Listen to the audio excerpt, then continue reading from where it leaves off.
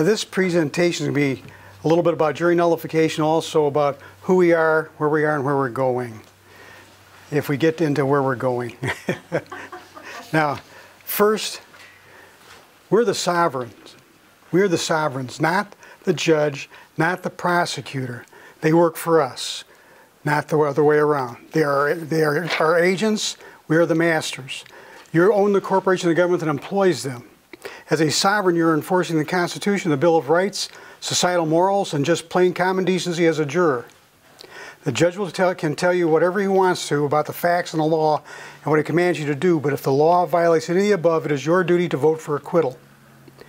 You are seated on the jury to keep them in line and look out for the accused and to be sure he or she gets justice in the system. Judges aren't the the state didn't invent the jury system. We invented the jury system. And it's been incorporated into the, into the Constitution to guarantee that we that remain, remain in control of our government. Now, to protect myself from legal consequences, I had to begin this presentation with a, dis a disclaimer. I'm not an attorney, and therefore, in the eyes of the government, I'm not qualified to offer legal service or advice. Therefore, I'm just discussing what I believe to be true. Do not act upon what I say without the advice of an attorney. They want their fees. I have a right to say what I want to about their mala prohibitum legal system as long as I'm not offering legal advice. Mala prohibitum is Latin for it is prohibited. And mala prohibitum law is invented. There are no two legal systems in the United States. There's one for the lawyers and one for the people. Mala prohibitum for them, mala in se for us. The lawyer's system is statutory. It, is, it was invented for the political class by lawyer legislators in the state and Washington, D.C., legislatures with the, with the complicity of the court. The people system is a common or natural law which evolved through usage in people's common law courts, overseen by citizen judges and tried in common law courts initially, before the lawyers got the legislatures involved in reshaping American democracy at the local level. Up until about 1938, we lived in common law in the United States. And then with Franklin Delano Roosevelt, he had to violate the common law to implement his socialist doctrine and his uh, Social Security and everything else. He had to uh, in order to do that, he had to have the court, the Supreme Court on his side, and he threatened to pack the court at that time. And rather than be packed, the court decided to go along with Roosevelt, and he started passing his uh, legislation as constitutional, whereas in the, before that they'd, they'd considered it unconstitutional, and wouldn't pass it. But his threats worked. Now, uh, we're no longer free men and women. We have to seek license to open a business. We have to go before the city clerk to buy a building permit to make additions or improvements to our own house. Our allodial, titles have been stripped from us. We now rent our own property from the government by paying property taxes. An allodial title gives you absolute right to land without any obligation to any landlord, sovereign, or government. If you have a allodial, allodial title to a land, it cannot be seized. No government agency or bank can place any lien, attachment, or encumbrance on land sec secured by allodial title. There are no disclaimers to a allodial title, period. It's yours and to do with what you want. But beginning, I guess, was in the 1930s, uh, that's when we got the property taxes. And uh, the government seized our land in effect.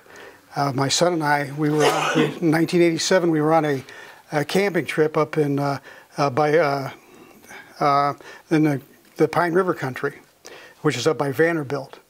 And along the way, they had these po signs posted. It's an 85 mile trail, it's a circular trail.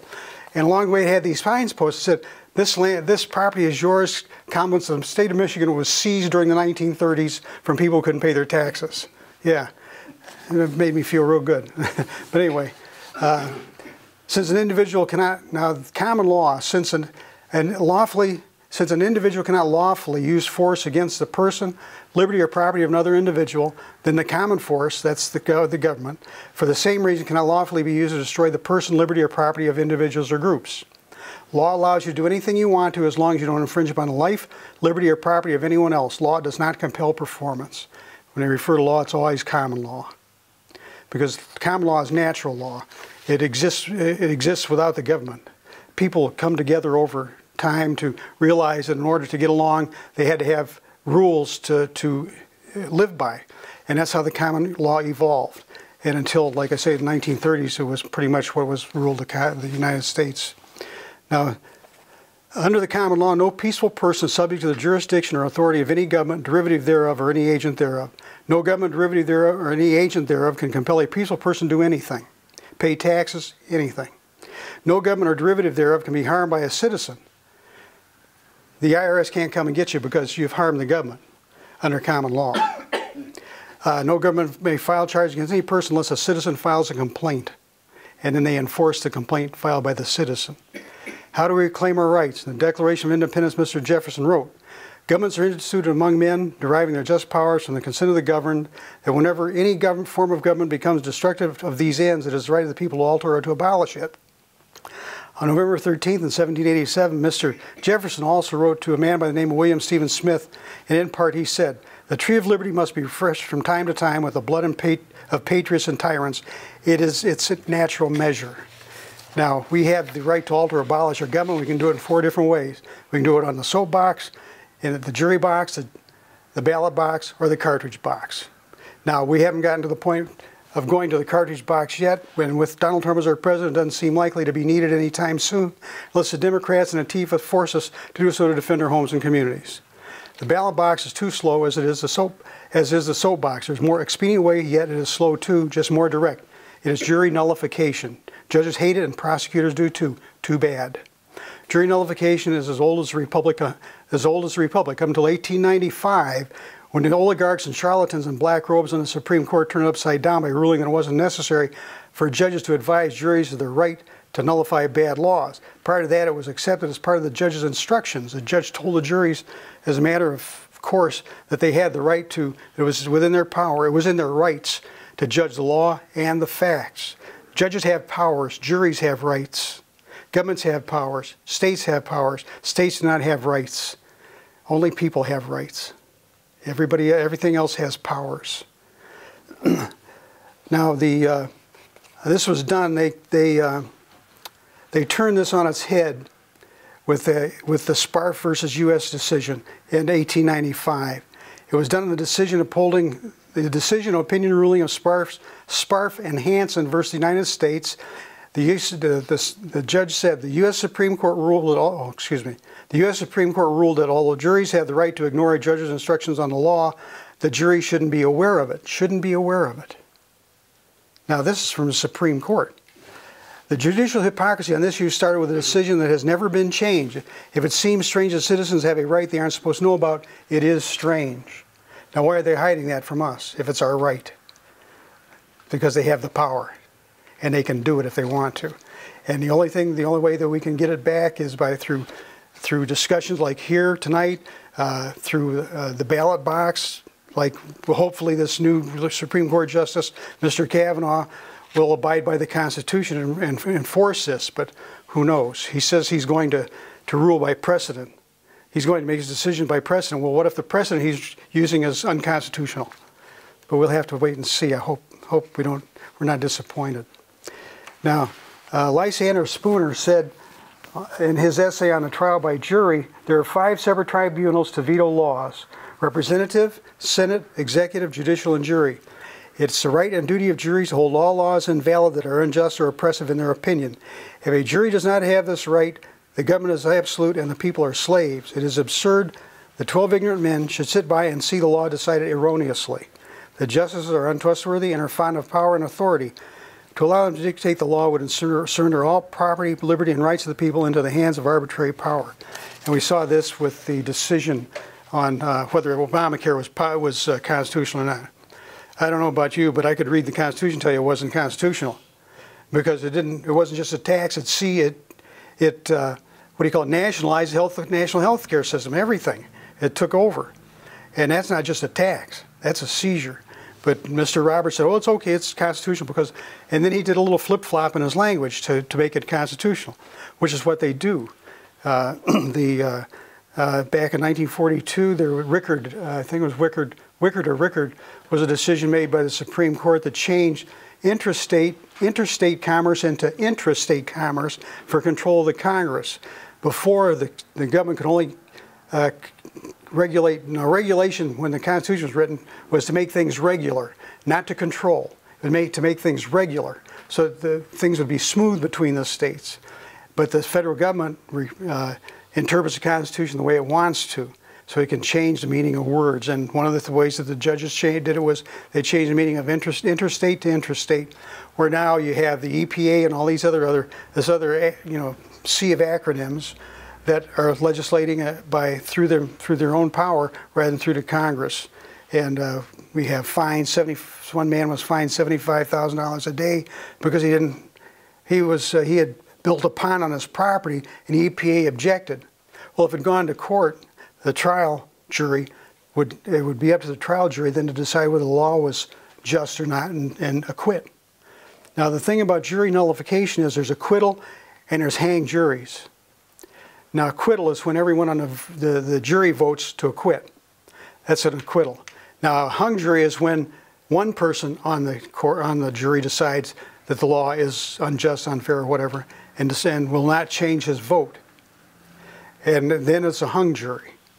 And when it's a hung jury, then the judge has the, uh, the uh, prosecutor has the option to retry the case and uh, costs the, the uh, defendant more money. Eventually, the guy's going to get be broke. He won't be able to defend himself, is what they plan on, I think. Now, uh, the difference uh, in now, where is it going? Well, anyway, that's the difference between a, a, a an acquittal and a, a, hung jury. Now, the Oh, here's where we, this also gets us into uh, double jeopardy. Now, the burden of proof is on the government to prove the, the uh, accused is guilty of some crime, uh, whatever the crime is. And now they have to rise to the level of, they have to prove it beyond a reasonable doubt. What is a reasonable doubt? A reasonable doubt is con convincing all 12 jurors the government's case is valid. If they can't convince 12, it fails that test. They have not convinced anyone beyond a reasonable doubt. One person is reasonable doubt. And then, they, then the, the, judge says, well, I have the power to retry the case because it was not a unanimous acquittal. That's not right. If the jury's hung, the state could not prove its case 100% to the satisfaction of the jurors, so it should not, double jeopardy should apply, and the person, whoever it is, should walk free period. But that's uh, lawyers and lawyeries, they play these little games with the words to get what they want to change our the way we do things.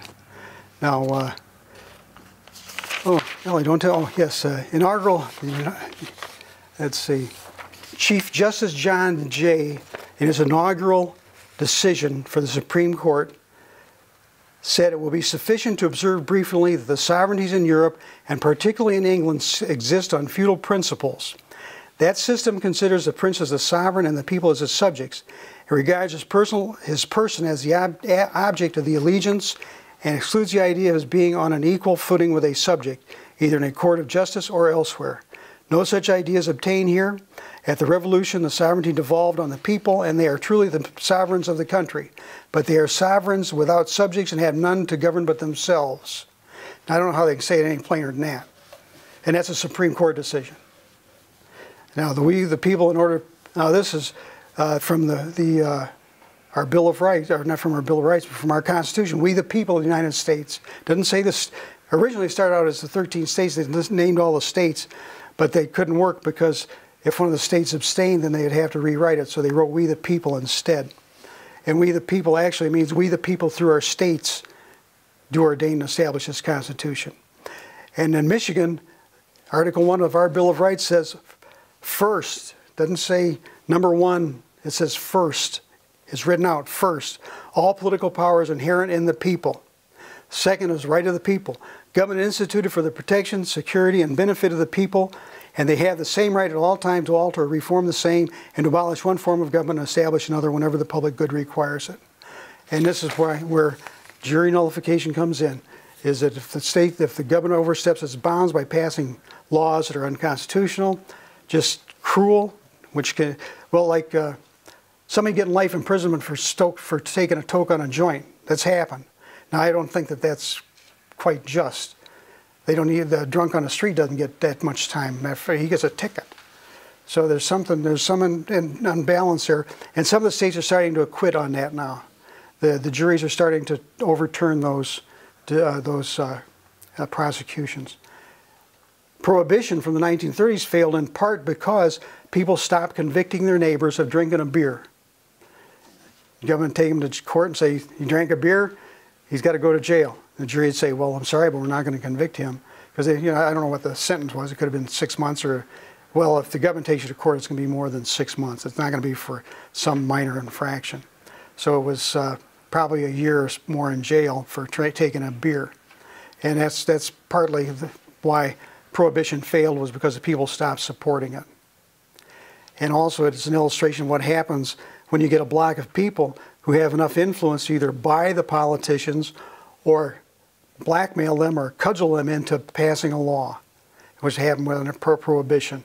Because uh, prohibition by itself was to ban the, the uh, use of liquor, not beer, not wine, but liquor, hard liquor. But they took and they interpreted it to mean all, any, any alcohol to be consumed. Now, uh, I haven't got anything else that I can think of to cover uh, under common law, and uh, but uh, my well, my favorite is common law because it illustrates what we had but once. We no longer have it. We, you can, if you know the law. Well, here there are three types of law. Uh, let me see. There are three laws. There's a common law, the law, and there is statute, uh, equity, and admiralty.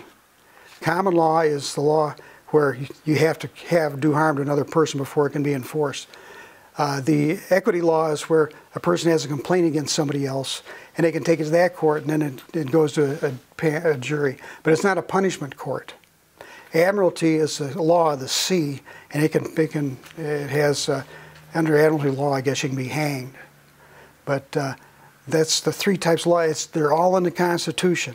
All three of them are mentioned in the Constitution. And supposedly, with the common law was so ensconced in American way of doing things is that we were going to have that forever. They didn't think to write it into the. They thought that because it was a part of the Constitution in itself that it would last forever. The Constitution is a common law document, as are the Bill of Rights.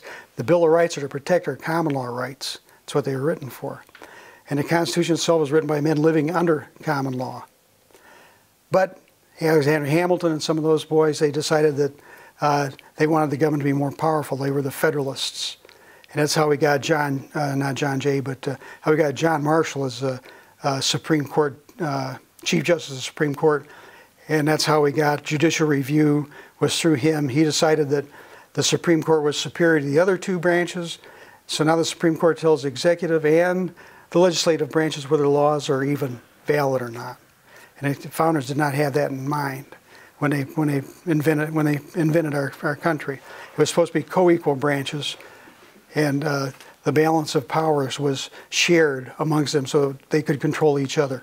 But now the Supreme Court has sole. I call them uh, the uh, oligarchs because it's an oligarchy of men who have final power. They they say that they have the final word in the, the, the interpretation of the words of the Constitution. And it's not, it's not mentioned anywhere in the Constitution itself. And Justice Scalia in 1999 admitted in a, uh, a speech at uh, Catholic University that there's no mention, if you look for it in the Constitution, of the Supreme Court having the final word on the Constitution. We just took it, quote unquote, we just took it. So that they know what's going on, they know what they did. And uh, that's uh, probably all that I've got to say, unless anyone has any questions or you want me to fill up more time somehow. no. Well, I think you talk a little bit fast. Yeah. My ears are kind of slow in listening. Well, that's my but nerves. You've done very well with that. That's my nerves. We won't hurt you. I know, Are you a I member know. of the fully informed uh, jury association? I'm sorry? Are you a member of the FIJA?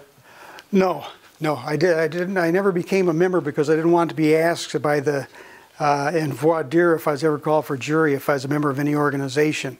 Did you get what? I didn't want to be.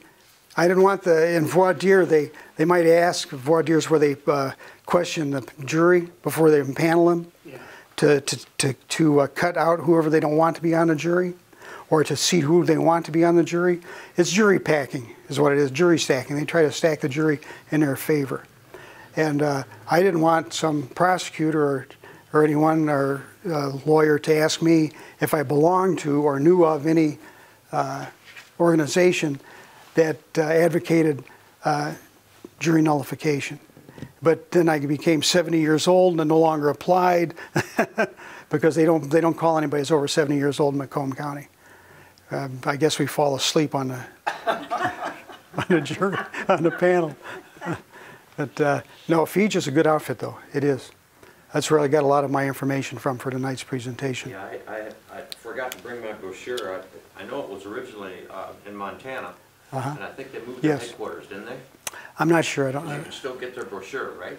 Uh, no, I don't get anything from them anymore. I, I I've got, went, I got one at home. Um, I went online. I have uh, in my uh, bag. I've got about 15 of their uh, jury advocacy uh, uh, newsletters from 1985 or something like that, years ago.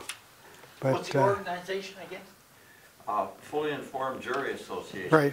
That's Now- what you're talking about tonight, right? yes, that's that's part of it. What you're talking Now about. the uh, That's the name of it, that's what it's called, That's what it stands for. now you have this. Uh, Fully informed. Fully Informed Jury Association. Yeah, you can go online and, and should be able to get information on it. uh, well, here's something I can cover.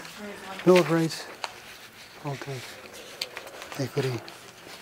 Now this is in your uh, the flyers I handed out tonight, and uh, one of them is about uh, verbally counteroffering a government's agent's notice to you. What do you do when you talk to the government? Nothing. Don't say anything. Shut up. the more you talk, the more they, uh, let's say, uh, uh, these are the only words that you should say to any official in writing or otherwise, especially any type of judge magistrate. To any question, your only response is, I do not understand. This has the effect of stating to them that you do not stand under their jurisdiction because you're a sovereign and not recognize your jurisdiction over you. If you say anything other than I do not understand or especially answer a question, you set the jurisdiction right there and establish who's in charge and pretty much confess your guilt. This remains the same even if you're asked, Would you like something to eat? A telephone call, mail, a visit from your wife or dear mother, bail, to speak with a bondsman, or a barfly. What time is it? Would you like to go home? Don't, by answering any of those questions, you, can, you fall under jurisdiction. That's the, the trick is you have to know the language of the court. If you know the language of the court, then you're sunk. And uh, it's, uh, it's, all, it's very specific. Every word has a meaning. And that's, that's why lawyers go to school for four years after they graduate from college to get an education in law. And uh, prior to, I don't remember what date it was, but in Michigan, before, all you had to do to get your law license was pass the bar.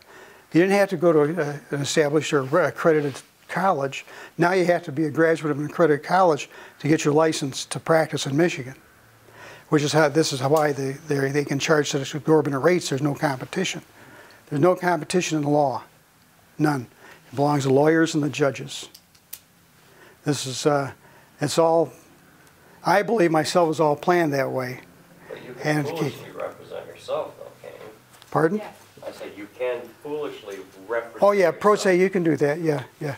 But if you do, you'd better know what you're doing Yeah. because uh, if all you got to do is answer the wrong question at the right time, and bingo, you're under their jurisdiction. So you have to be very careful.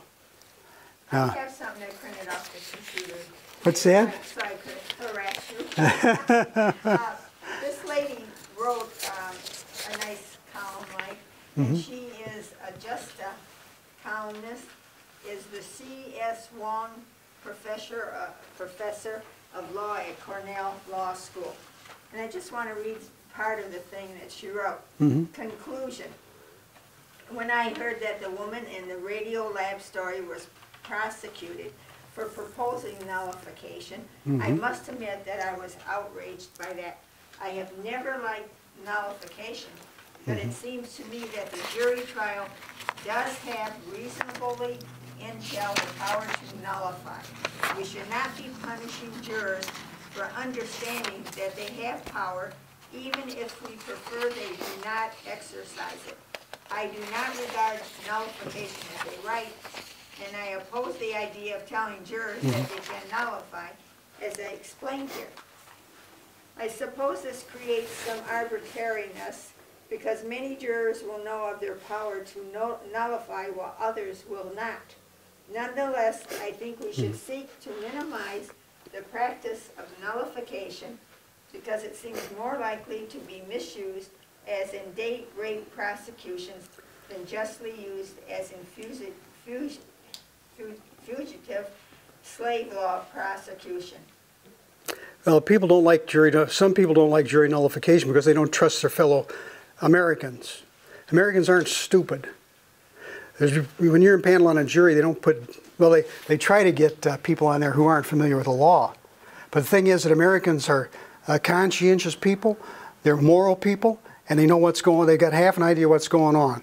So if some judge is trying to, now there's one uh, that I thing that I read. Some woman was very, she was in tears because she had to convict some man for pot possession and send him to jail for years because a judge told them they had to follow the law. They could not vote their conscience. A judge can't see in your head. He can't tell what you're thinking. If you if you if you feel like voting because you had a bad day, if you feel like nullifying it, you can, because they can't see what's in your head. They just you, all you have to do is say, well, it did not rise to the level of uh, of uh, uh, what do you call it, a reasonable doubt, not overcome reasonable doubt. That's why I voted not guilty. He didn't prove he was guilty. Same thing as saying I don't understand. They can't get past that. You cannot be you cannot be called once the jury is once the jury has de decided its verdict, it cannot be overturned. That's it. And that they always they try to weed out. And if this if uh, someone uh, if you're if you are, have knowledge of jury nullification and you're sitting in a court, don't tell anybody. If you're sitting on a jury, don't tell. Keep it to yourself. You don't want to because because the jury foreman he might not like uh, jury nullification. He might want to get out of there. He don't want to sit around debating all the, for days because somebody's voting to acquit and everybody's trying to convince him not to not not to acquit. So you have to be careful if you have knowledge of, of, um, of jury nullification.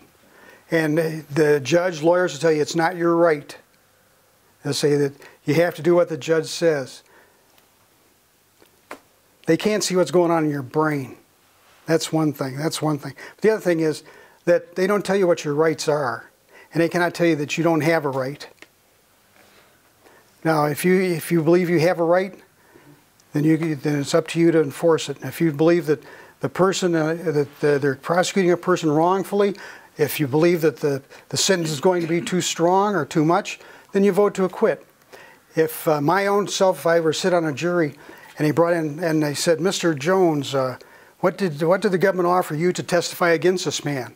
Well, Your Honor, I was uh, up for a 20 year sentence on uh, possession and they just said that they'd let me off if I testified against him. But I'm, but I'm telling the truth. Yeah, uh-huh, sure. The minute they said that, I would vote to acquit. Period. I would. That's uh, insanity. The, but the, that's how the, the government gets 95% conviction in their cases, and that's how they do it.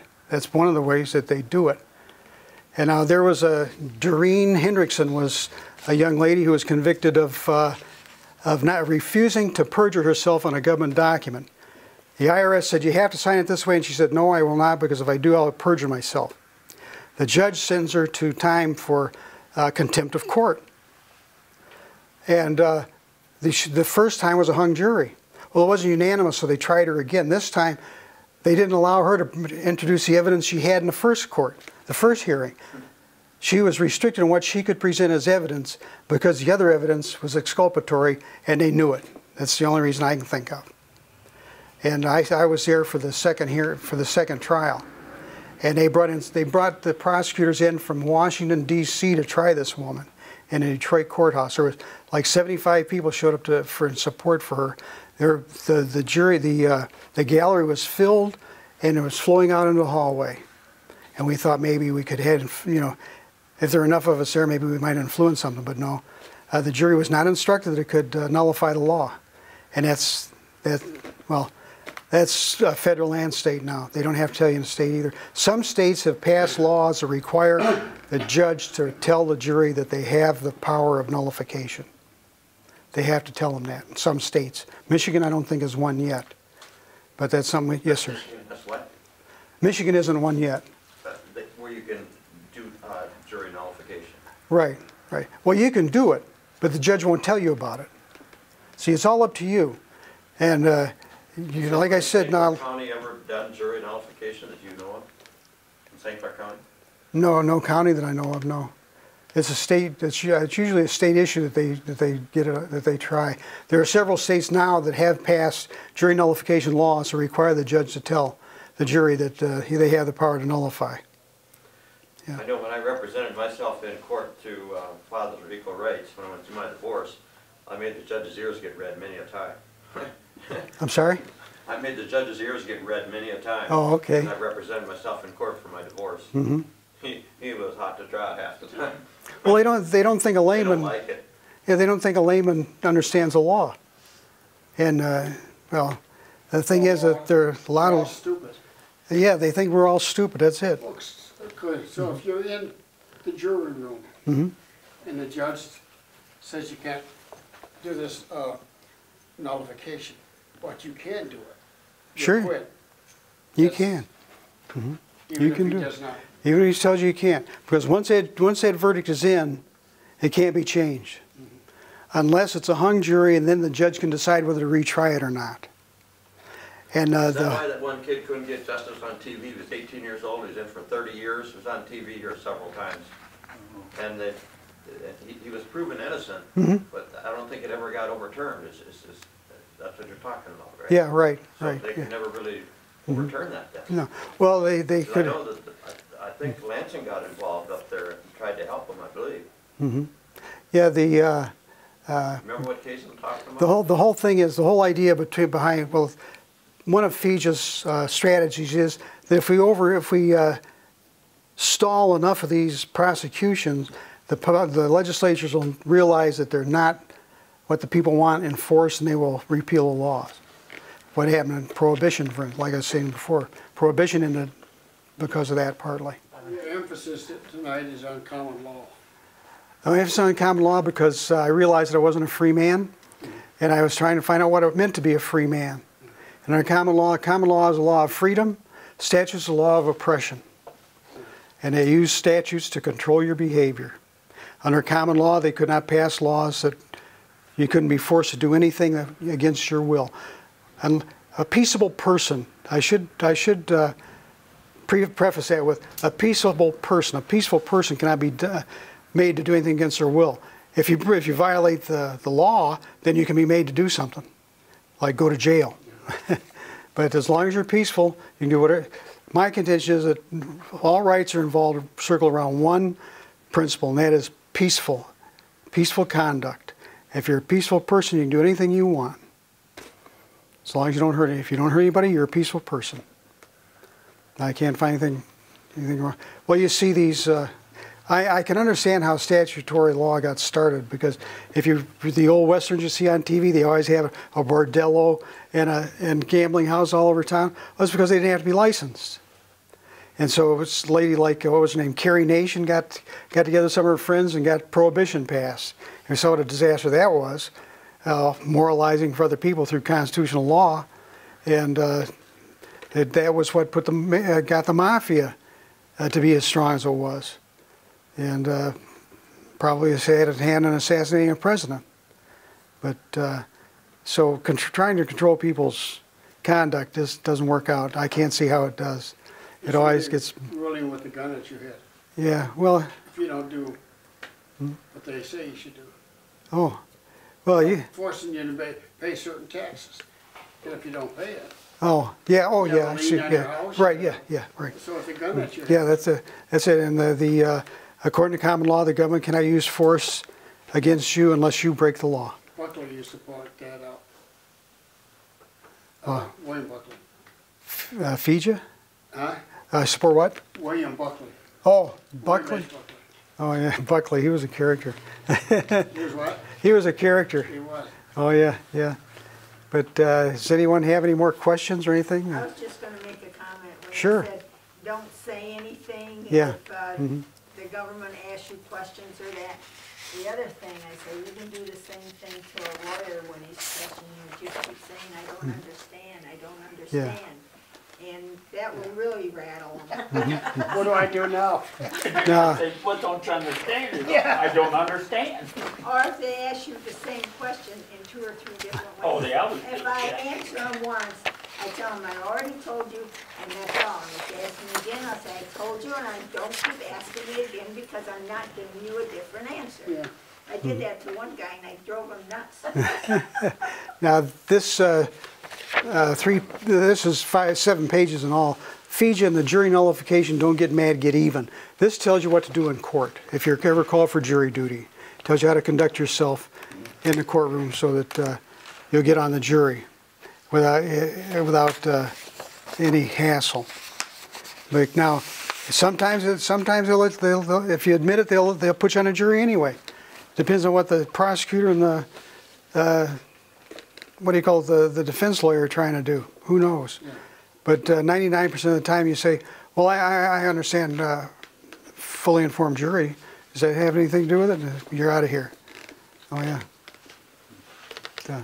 Or just tell them that you can't make a judgment until you hear all the evidence. That's right. That's all. I can't, how can I know how I'm gonna vote or That's right. answer?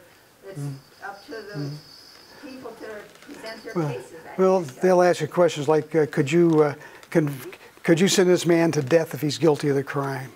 They'll ask questions like that, not here in Michigan, but in uh, states that have the death penalty. They'll ask the jury if they'd be capable of convicting someone of the death penalty. Myself, I wouldn't be able to because I don't think the government should have, they make too many mistakes. too many innocent people have been, uh, and jury, could ask you that, what's that? I didn't think they could ask you that. How would Yeah, they know? can, sure. Well, the, the thing is, when you go to, for what they call voir dire, when you go, that's when the, the, the court uh, uh, tests you for whether you're going to make a good juror or not.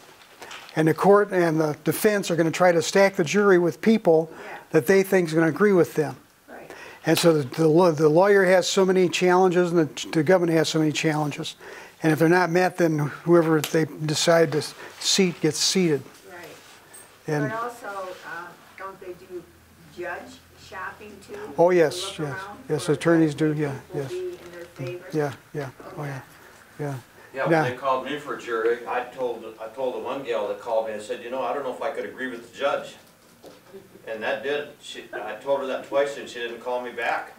Yeah, yeah. She didn't call me back anymore. Well- It used to be uh, uh, that common law, you accuse your neighbor of something, you know, damaging your barn. You know, he he uh, took an axe and cut down a tree in my yard.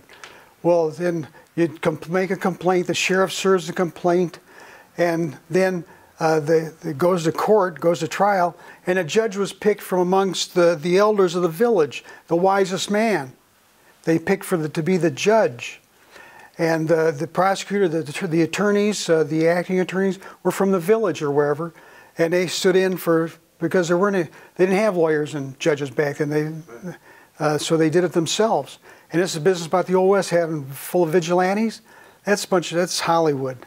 That's Hollywood. There were there may have been some vigilantes. I'm not saying there weren't, but most of the law in the west was conducted on common law basis.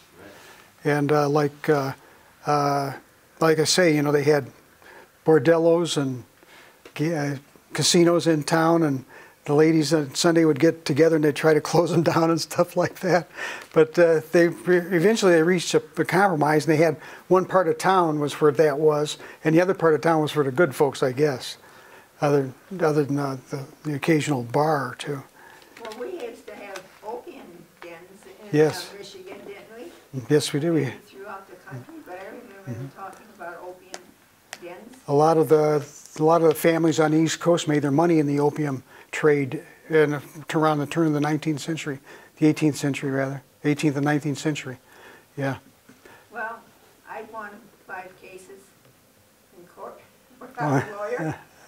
One thing you learn with lawyers is they say, well, you can't do that. You say, I'm hiring you to do that. Uh-huh. That's what I want you to do, is to take care of this for me. And don't tell me you can't do it, because they want the money. They'll do whatever you tell them. Yeah. Yeah. You know, that's uh, about all I have to say. I can't think of anything else. Uh, everything, like I say, this is this is a pretty good. It's like a, if you want to get on the jury brochure, uh, this is it. This little one here, And this was uh, taken from uh, the Antique Canna- Cannabis Bookstore. Cannabis. so that's where that uh, little brochure was downloaded from. But, uh, so with that, I guess I'll have to end the the lecture. I hope I didn't talk too fast, but this is the first time I've done this in several years. So, Thank you. Well, you're welcome. Thank you. Thank you for the patience of listening.